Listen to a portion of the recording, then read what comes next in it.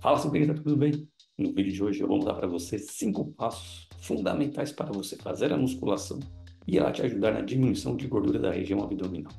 Gosta desse tema? Então deixa seu curtir, se inscreve no canal e vamos juntos até o final desse vídeo para você conhecer esses cinco passos. Então bora lá, Simplista. Quer diminuir gordura da região abdominal com a musculação? Então confere esses cinco passos. Primeiro deles, é importantíssimo você fazer o aquecimento. Ou seja, Antes de você fazer os seus exercícios da musculação, não tem problema nenhum se você faz em torno de 3 até 10 minutos na parte cardio. Não é perda de tempo se você tem um tempo disponível. Depois desse aquecimento que você faz da parte do cardio, aí sim tem um aquecimento que é obrigatório, ou seja, é o aquecimento específico. E o que isso significa? Imagina que o primeiro exercício aí da sua série seja o agachamento, com a barra nas costas. Então, antes de realizar essa primeira série do agachamento, o que, que você vai fazer? Torno de duas a três séries, vai fazer um agachamento como aquecimento, com menos peso do que você vai fazer nessa primeira série. Depois que você faz esse aquecimento específico, você vai lá e realiza o primeiro exercício da sua série de musculação. Passo número 2, você saber qual é a estratégia de treino que você vai realizar. Duas principais e mais comuns que a gente utiliza na prática é você fazer o método tradicional, ou seja, nesse método tradicional, você faz um exercício, completa todas as séries dele, por exemplo, fez três séries de 10 no agachamento, e depois você vai para o segundo exercício, pode ser supino reto. Então você faz um exercício por vez e assim até completar todos os exercícios da sua série. Outro método bem interessante que você pode realizar é o método combinar, ou seja, faz dois exercícios na sequência. Um exemplo bem prático. Você vai lá, faz o agachamento, completou 10 repetições e na sequência você vai lá, faz 10 repetições do supino. Descansa cerca de 1 a 2 minutos e vai repetir essa combinação até completar o número de séries. Completou essa primeira combinação, você parte para as próximas combinações de acordo com o que foi estabelecido.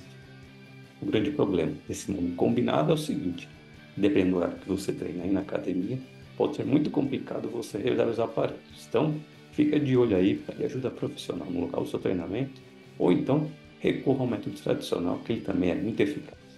Agora, outra grande dúvida é a seguinte: como fazer cada uma dessas séries para ter melhores resultados?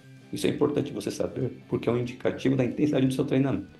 E a intensidade é fundamental para ter bons resultados. A dica mais prática que eu deixo para você é a seguinte: se você fizer o método tradicional, ou seja, um exercício após o outro, o mais interessante é que você faça as últimas repetições com dificuldade. Toma agachamento novamente como exemplo. Se for sugerido para você fazer 10 repetições, você vai ajustar a carga desse agachamento para chegar a essa décima repetição com dificuldade. E não precisa travar o movimento, ou seja, chegar até a falha. Faz com dificuldade e isso já é um ótimo indicativo que você acertou a intensidade do seu exercício. Agora, se você vai fazer um método combinado, ou seja, um exercício na sequência do outro, eu recomendo que você faça a estratégia de repetições de reserva. Por quê? Esse método combinado vai aumentar um pouco mais a intensidade, talvez a sua percepção de esforço fique muito maior e isso pode prejudicar você entrar em fadiga antes. Então, como funciona esse método de repetições de reserva? O agachamento, supino reto, tem 10 repetições para você fazer. Você vai ajustar a carga para fazer 10 repetições, porém você vai interromper o seu exercício em torno da na sétima a oitava repetição. Esse método vai ajudar bastante a você prolongar o seu exercício e terminar toda a sua série sem entrar em fadiga precoce. Passo número 4 agora é o seguinte: qual a frequência de treinamentos que eu tenho que fazer na semana para ter melhores resultados? Eu vou sugerir aqui uma recomendação minha. Pessoas no nível iniciante, duas vezes na semana, se você está, se você nunca treinou ou está há bastante tempo sem treinar, já é bastante interessante para você fazer aí a musculação. Pessoas já no nível intermediário, seis meses, um ano de treinamento, pelo menos três vezes na semana, se conseguir em dias alternados. Ou então fazer dias na sequência, ter uma boa divisão de treinos também já é um ótimo estilo.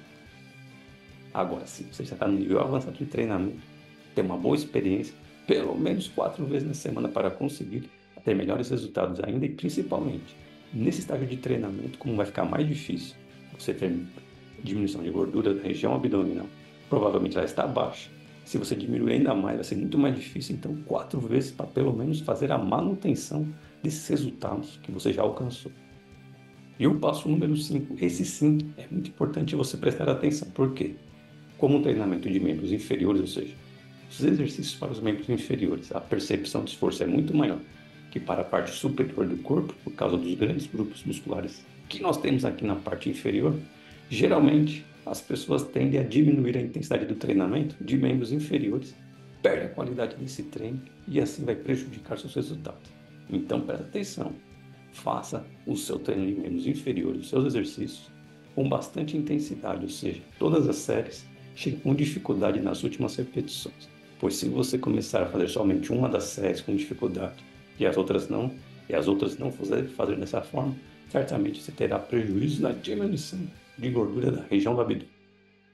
Portanto, esses são cinco passos que você deve fazer aí no seu treinamento de musculação para ajudar a ter melhores resultados na diminuição de gordura da região abdominal. Peça orientação profissional, pois isso é muito importante para ajustar as suas individualidades, a sua rotina, os seus treinamentos e assim você conseguir evoluir com segurança e eficácia. Porque se você faz querendo avançar estágios com muita velocidade, sem paciência, você pode ter mais riscos de lesões ao longo do caminho, principalmente nas suas articulações. Isso vai te desmotivar e você não vai mais querer saber da musculação, que ela é um ótimo para ter esses bons benefícios em relação à diminuição de gordura da região do abdômen. Dúvidas? Escreve nos comentários que a gente conversa mais sobre isso. Aproveite, deixe seu curtir, se inscreve no canal e compartilhe esse vídeo, pois isso é muito importante para manter o canal sempre aqui. Bons treinamentos, até a próxima e vamos!